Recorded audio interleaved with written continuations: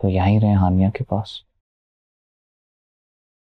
नहीं बेटा बस तुम किराएदारों से मेरा मकान खाली करवा दो।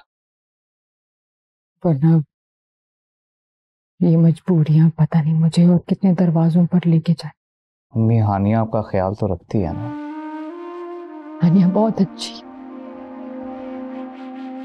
लेकिन बेटा मैं जब जब हानिया को देखती हूँ तो मुझे तुम्हारी बर्बादी याद आती।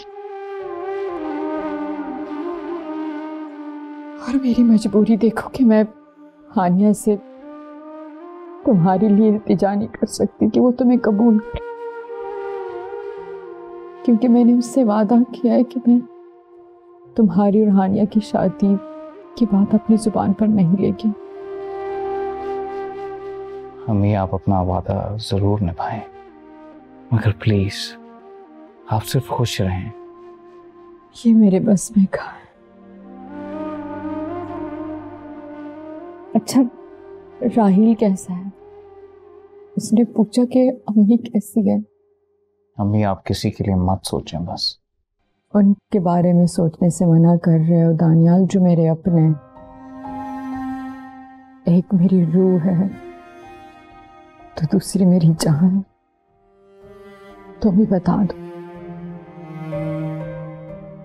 कि मैं किससे नाता तोड़ इससे अच्छा नहीं है कि अपनी सांस ही ना था अम्मी प्लीज़ आप ऐसी बातें मत किया करें। आपसे पहले मैं ना मर जाऊँ। ठीक है बेटा। नहीं कर। अच्छा तुमने खाना खा के जाना है। आज मैंने तुम्हारे अब्बू की पसंद का पुलाव बनाया है।